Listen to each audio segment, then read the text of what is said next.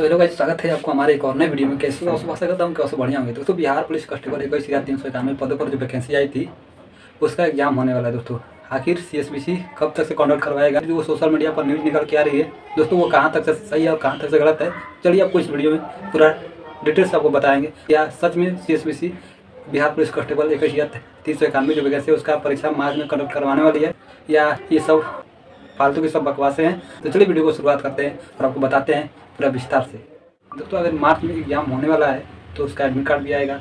Admit card दस या पंद्रह दिन पहले आता है। दोस्तों, आप लोग सच्चाई बता दें।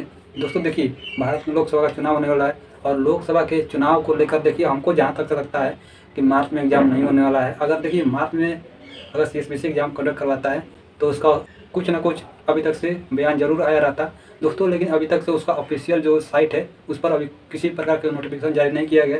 जब तक से अगर सी अगर हंड्रेड परसेंट नोटिफिकेशन जारी करके कंफर्म नहीं करता है, तब तक से किसी को पता नहीं है। सब लोग जितना लोग है ना यूट्यूब पर आते हैं और ये है, वो है, फलान ढिमकान मतलब एग्ज़ाम डेट है, एकदम हो ही जाएगा एग्ज़ाम मार्च में। दोस्तों, सब लोग अपना व्यू छाप रहे हैं टीआरपी बढ़ाने के लिए। तो दोस्तों, ऐसा कुछ भी नहीं है कि मार्च में एग्ज़ाम होने वाला है। अगर मार्च में एग्ज़ाम होने वाला रहता तो इस अपने ऑफिशियल वेबसाइट के से कुछ ना कुछ नोटिस जारी करता। दोस्तों, चलिए मिलते हैं अगले नई वीडियो में। तब तक बाय बाय और अपना जो तैयारी कंटिन्यू रखिएगा। सीएसबीसी का मूड है। कहा पता मार्च में एग्ज़ाम ले ले।